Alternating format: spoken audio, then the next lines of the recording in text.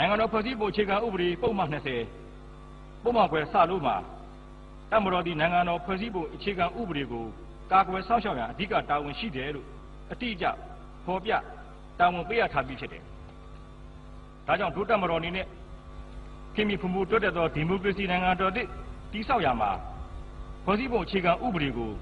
အဓိကတာဝန်တရားအနေနဲ့ကာကွယ်စောင့်ရှောက်သွားမှာဖြစ်ကြောင်းပြောကြလို့လေ။ဒီများနဲ့ လေ့ကျင့်ရေးအကြောင်းများကိုအစစ်နှစ်တင်ဖွင့်လှစ်ပေးခြင်းစတာတွေဆောင်ရွက်ပေးခဲ့တယ်။နိုင်ငံတော်ရဲ့စီးပွားရေးဥတီချက်တွေအတိုင်းတပ်မတော်ကတက်ဆိုင်ရာဂါရကဒရဒအားပါဝင်ဆောင်ရွက်သွားမှာဖြစ်ကြောင်းပြောကြလို့လေ။ဒီကနေ့နိုင်ငံတော်ကချစ်တဲ့နေတဲ့ဒီမိုကရေစီလမ်းကြောင်းမှာအစိုးရရဲ့အုပ်ချုပ်ရေးလုပ်ငန်းတွေကိုတပ်မတော်ကမှန်မှန်ကန်ကန်ရပ်တည်ဆောင်ရွက်ပေးသွားမှာဖြစ်လို့ပြောင်းလဲလာတဲ့ဖြစ်စနစ်နဲ့အညီ